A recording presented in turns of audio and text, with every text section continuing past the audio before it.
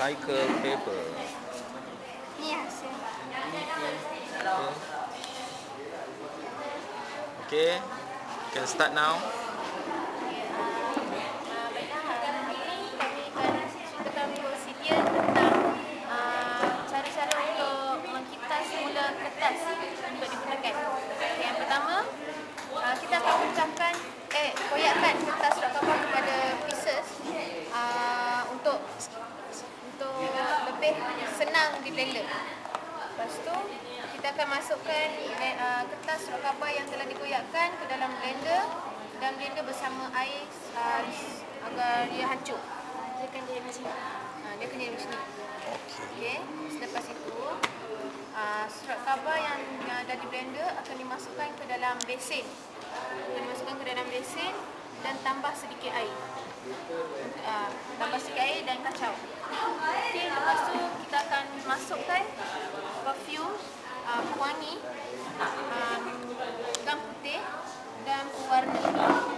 Perfume kegunaannya untuk uh, mewangikan kertas, gam putih untuk melekatkan antara kertas yang terhancur dan uh, pewarna untuk menjadikan dia kertas yang dihasilkan yang berwarna. Lepas tu, apabila telah mixture, mixture yang dituang tadi telah, telah dikacau buat daun, kita akan tapis menggunakan wire hanger.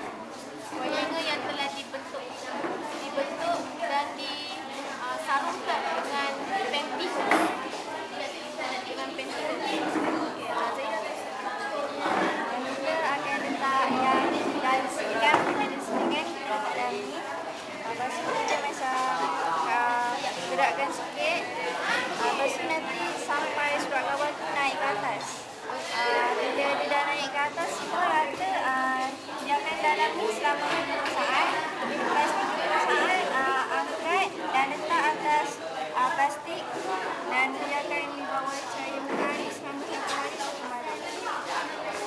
And then Kemudian hasilnya uh, kita akan lihat uh, seperti ini dan ini.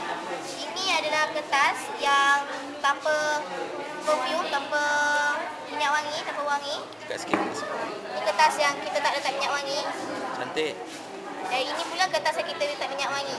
Perbezaannya um, baunya lebih harum lah daripada yang ini. Dan kemudian kita boleh bentukkan uh, dalam keadaan pelbagai saiz. Seperti ini dan kita boleh bentukkan untuk jadi kad.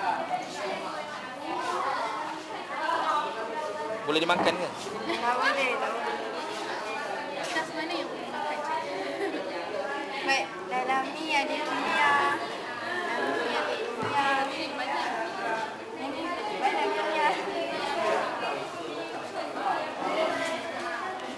Okay, thank you.